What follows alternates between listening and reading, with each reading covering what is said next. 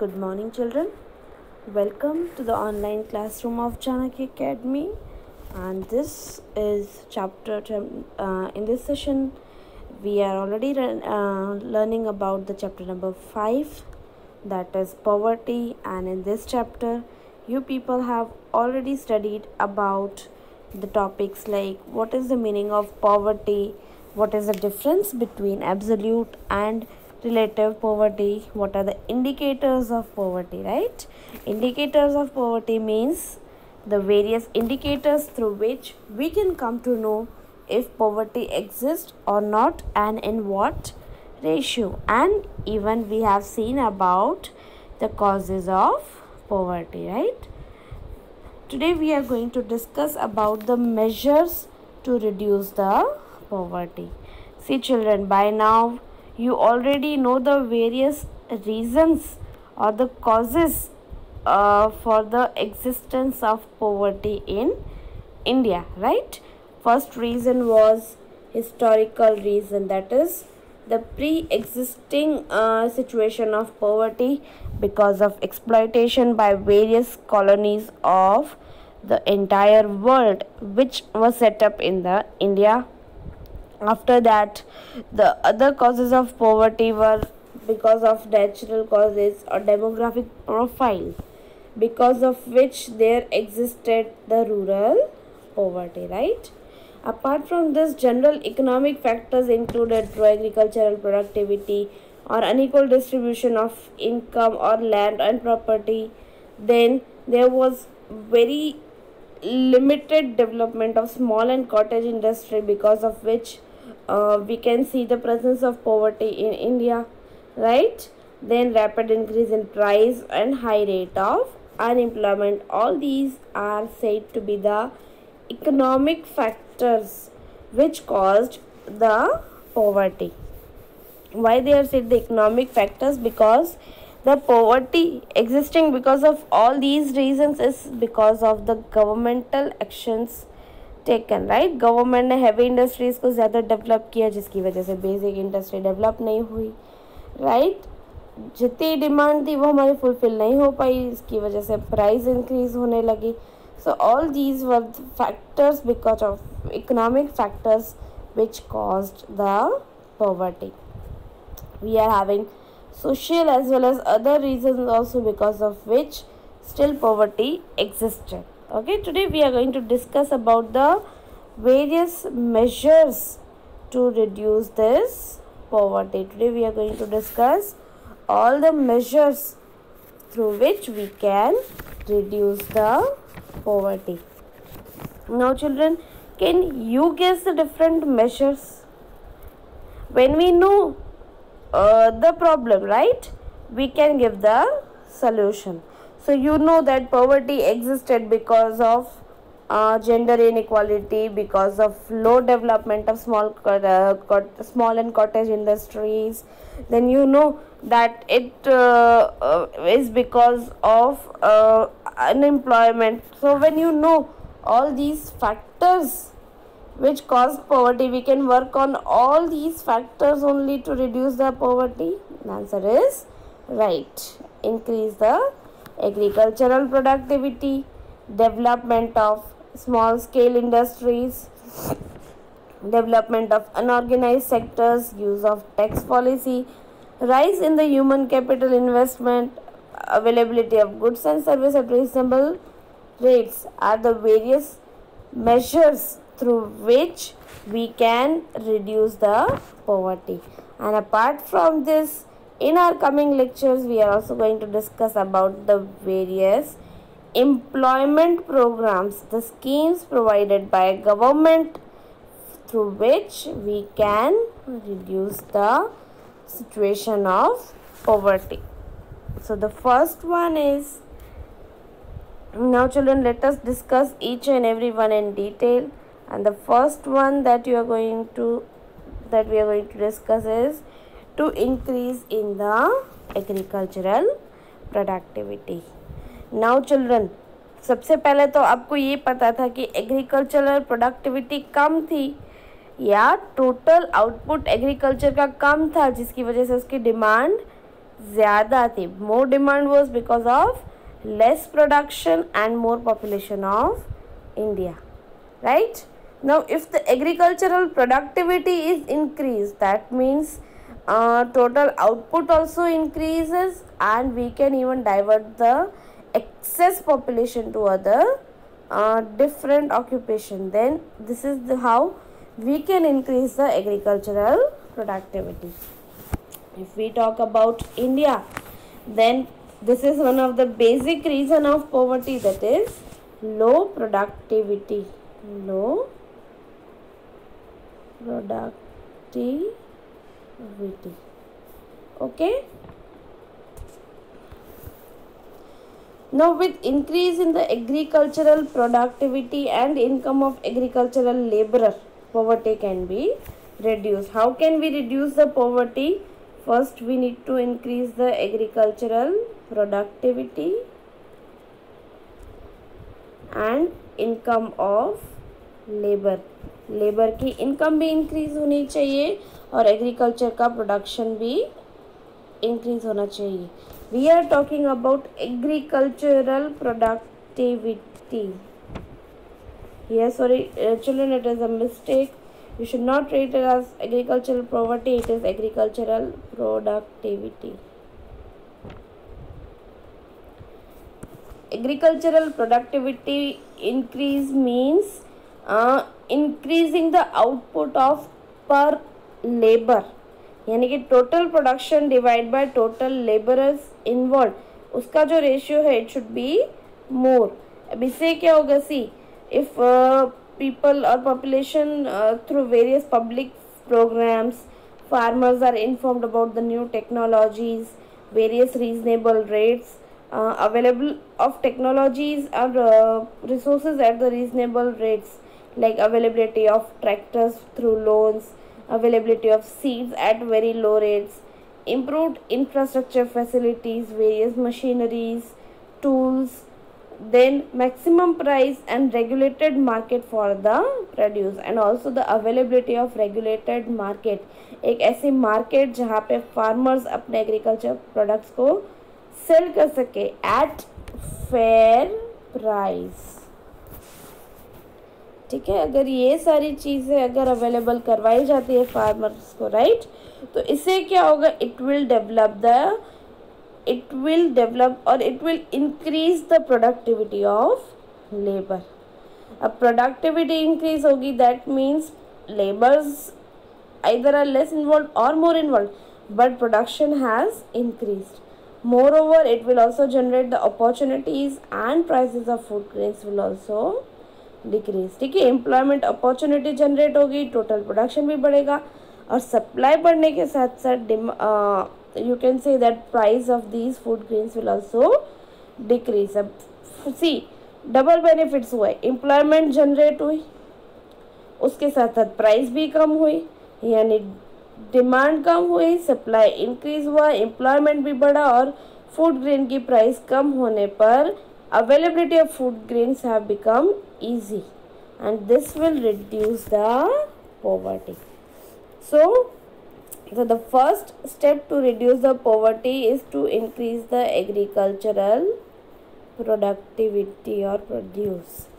Then second step is to develop the small scale or cottage industries. You people have already uh, knowing by now that small scale and cottage industries are set up in the village areas or small towns right uh, which gives the employment to the local public now if such small scale industries are set up children right तो उससे क्या benefit मिलेगा local employment generate होगी जो local area के labourers होंगे labourers means those who are uneducated right? They will also get the laborer work. Moreover it uh, these small industries will develop the village areas. Okay? Now see uh, in india these small and cottage industries have immense contribution in the national income. So if the small and cottage industries can be developed then we can reduce the poverty in India.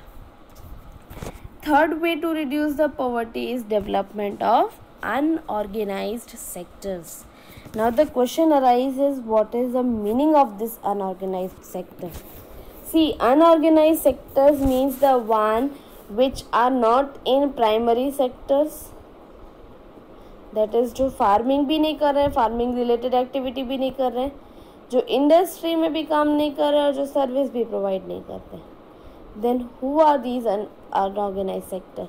It includes vegetable vendors, right? Those who sell the vegetables, masons who are involved in the laborer activity of constructions, agricultural laborers are the one are said to be the part of unorganized sectors, right? We are having much more population in this unorganized sectors. If we develop them if we improve the conditions of these workers right? How? By providing them life insurance by providing health facilities by providing them pensions and other social securities right? Then it will result into the reduction in poverty.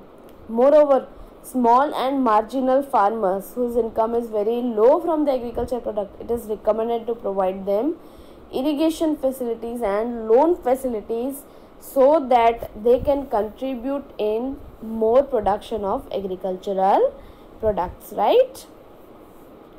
Now uh, improvement in the conditions of these unorganized uh, sector was also provided recommended by national commission and they only suggested to work on the areas like providing the health security by life insurance and health facilities pensions and social security measures for these unorganized sectors so that they can also develop.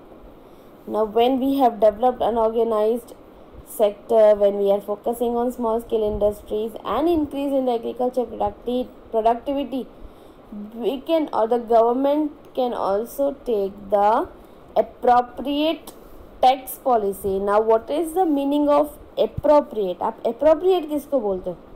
Charging high tax और charging low tax yes appropriate tax policy means the steps taken to reduce the income in equality income in in equality को reduce करने के लिए जो tax policy design की जाए that is known as appropriate tax policy where in less tax is collected from person like farmers और the less earning population and more tax is collected from the rich population अब इससे क्या होगा?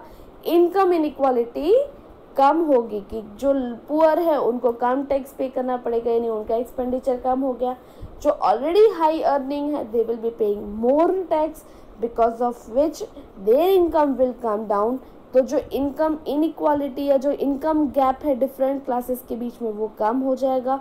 Government को भी appropriate income मिल जाएगी right and he can and the government can contribute on the development of poor people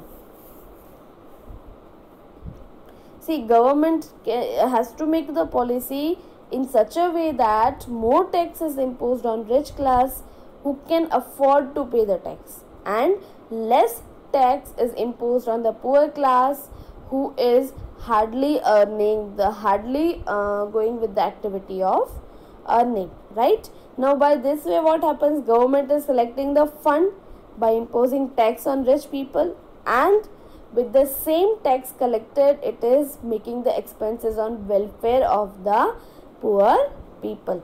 With this we find the balance of socio-economic conditions. Balance in the socio-economic condition means improvement of poor people and reduction in income inequality and poverty is there. Now apart from these we must also take care of the human capital investment.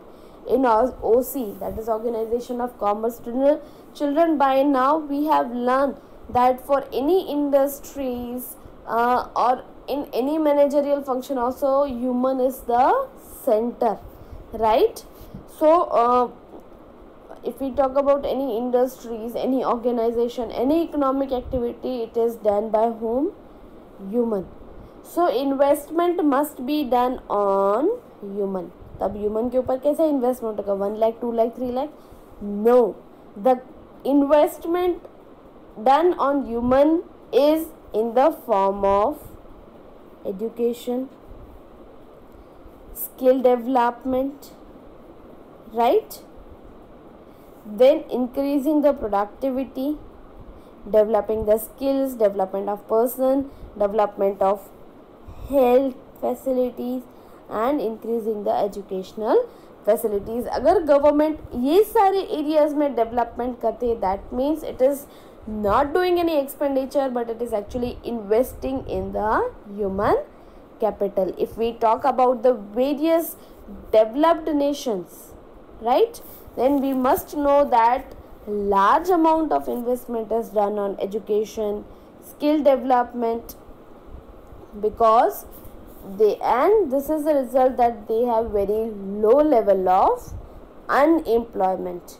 Now when unemployment is low but obviously poverty is low because majority population is employed and once the employment is there job is there that means poverty will be less right? When there is high level of education it satisfies the requirement of employment opportunities of the various industries. Skill development increase the productivity of worker which result into high wages of the laborers. Right?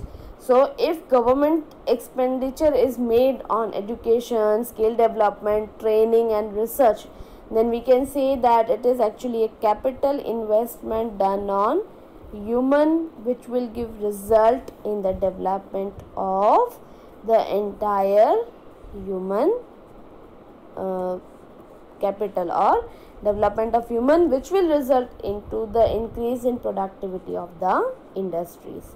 Moreover educated population will migrate or will shift from primary uh, sector to secondary or tertiary sector. And when more employment is seen in this secondary and tertiary sector that means the excess labor from agriculture sector is shifting to industrial sector or it is a positive change or growth in the economy. All these were related to the various steps to be taken fine to reduce the poverty. Along with this, if all the services and goods are made available at the reasonable rate to the poor people, right? Then uh, the situation or the increase in poverty can be stopped. If we talk about the availability of nutritive food or food security right? To providing the food security to the poor people then it can be made available through various fair price ration shops okay? In shops के through very nominal price पे या fair price पे poor population को food provide किया जा सकता है, जिससे उनकी फ़ूड सिक्योरिटी इस्टेब्लिश होती है। That is at least they are getting the two times meal with the low income this will reduce the poverty this fair price ration shops are also known are you can say organise under public distribution system through which various ration shops are available in rural as well as urban areas who provides the basic utility goods at very reasonable prices which uh, uh, responsibility of the government increases during the time of drought scarcity or even any kind kind of crisis like the situation right now हम अगर अभी lockdown की बात करें तो अभी क्या है we find many of the daily wage labourers poor people who have stayed back in particular places and who are not having any job right to earn the money so to provide uh, under the food security act through this public distribution system government is providing them meal for the two times so these are the various measures through which we can reduce the poverty that is pro, agriculture produ- production को increase करना small scale industries को develop करना unorganized sector को develop करना जैसे vegetable vendors masons laborers then we must use the appropriate tax policy so that poor people pays the less tax rich people pays more tax then rise in the human capital availability of goods and services at fair price. And apart from these various government programs are there which works or focus on reducing the poverty. Tomorrow we are going to discuss about all these schemes okay? Till then thank you